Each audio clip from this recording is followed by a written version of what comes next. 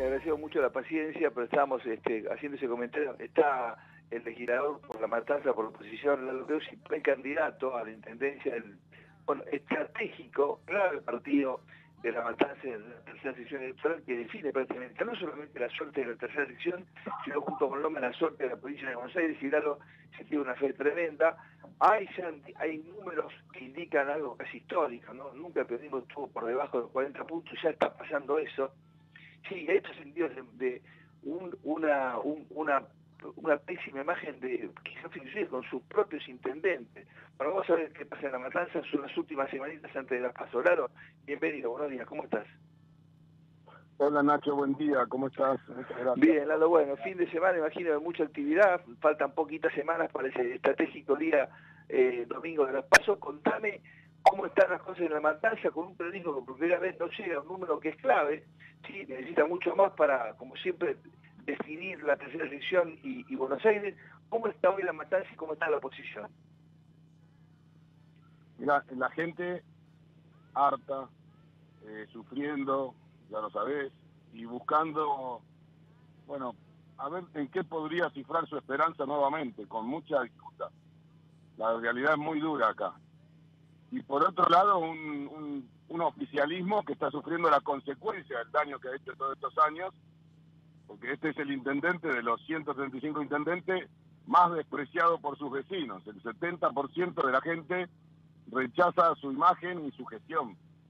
Y a la vez lo rechaza su propio espacio. El 80% de los votantes kirchneristas creen que tiene que haber otro intendente dentro de su espacio. Y así es que tiene dos listas internas, cosa que no pasó nunca, y tiene dos listas más del peronismo que no pudieron ir por adentro y van por afuera a intentar disputarle el mismo voto del frente de todos. Es una realidad eh, inédita, es una crisis del peronismo o del menú peronista mucho más profunda que la del año 99, cuando Pink y, la alianza casi le arrebatan el poder al peronismo en la matanza. Es una realidad, esa es una realidad. Ellos están muy mal.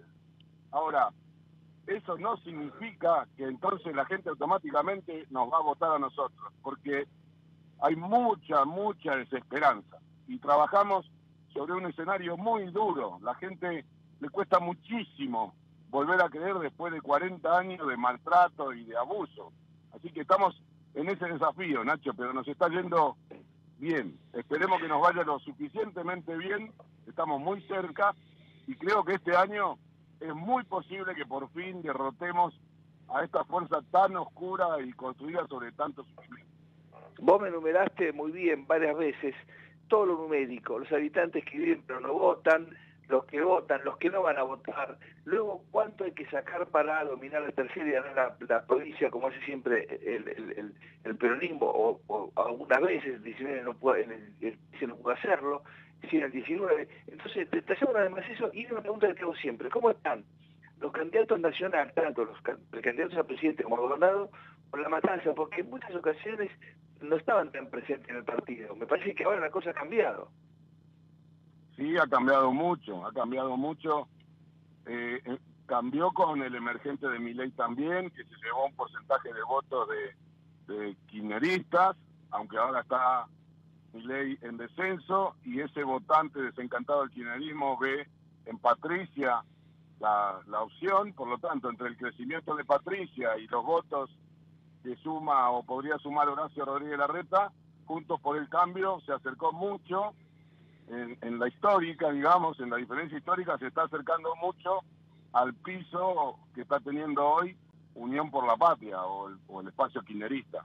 Estamos hoy con alrededor de 28 puntos, eh, teniendo en cuenta las encuestas, ¿no? que ya sabemos que también por las dudas hay que confiar más en la realidad que nos dice, que nos da el territorio, pero teniendo en cuenta las encuestas estamos alrededor de 28 puntos y, y, el, y el, frente de todos en alrededor de los 40 y, y en un en un aparente descenso. La figura de masa no es una figura que logre eh, consolidar el voto kirchnerista, por lo menos en la matanza.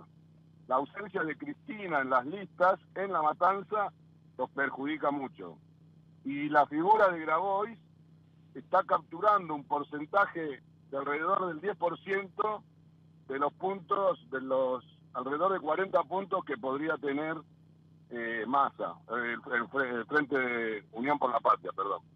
Así que su crisis interna es una gran oportunidad y nuestra actitud de, trabajo, de, presencia tan intensa y tan pocas veces vista en la matanza por parte de la oposición, nos está permitiendo crecer. Lalo, ayer te mandé un material que se publicó, para vos no es sorpresa, pero a nosotros nos conmueve mucho, porque en un extremo del partido hay un barrio, son unas, manzanas, casi tomado, los vecinos resisten, los vecinos resisten, pero casi tomado por el Paco. Digamos, el daño que se está haciendo a la matanza, eh, yo digo, están llegando a esa zona porque es hay que caminar, hay que estar con los vecinos, ustedes tienen que mostrar una esperanza, una posibilidad.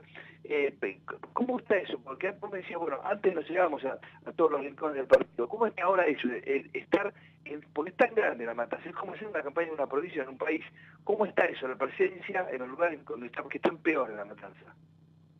Mira, acá hay una decisión política, hay una forma de construir poder que se hace sobre un caos organizado. Entonces, se decide no intervenir, a pesar de que hay fondos multimillonarios para la cuestión de la seguridad, se decide no intervenir en la defensa de la vida, la protección de la gente, y se deja el territorio como zona liberada, pero al mismo tiempo la estructura, los militantes o algún sector de los punteros del propio oficialismo participa o organiza todo tipo de negocios ilegales y truchos como la venta de tierra, incluso la venta de la falopa o muchas situaciones delictivas, incluso hasta el robo automotor. Matanza hoy es el municipio con mayor cantidad de robo automotor por mes. Y eso ha generado, entre otras cosas, que nueve zonas del distrito estén copadas por las bandas vinculadas a la venta de droga o al narcotráfico. No es nada, no es nada que no se pueda resolver con decisión política, porque es la misma decisión política la que lo genera. En la ciudad de Buenos Aires hace muchos años atrás, las vidas de la ciudad de Buenos Aires estaban copadas por bandas narcos internacionales. Se puede enfrentar eso, se puede resolver, se puede llevar estado, calidad de vida a esos barrios y se le puede ganar el territorio a los narcos, a los delincuentes y recuperar las calles, los parques y los barrios para los laburantes, la gente honesta. Eso es muy posible. Lamentablemente, mientras siga el mismo intendente, eso es imposible. Eh, ¿Qué imagen tiene hoy Espinosa, te lo pregunto de nuevo, en, la matanza? 80% de rechazo. Ah, es un espanto. Es un espanto. Rechazado, es rechazado entre los propios votantes kirchneristas.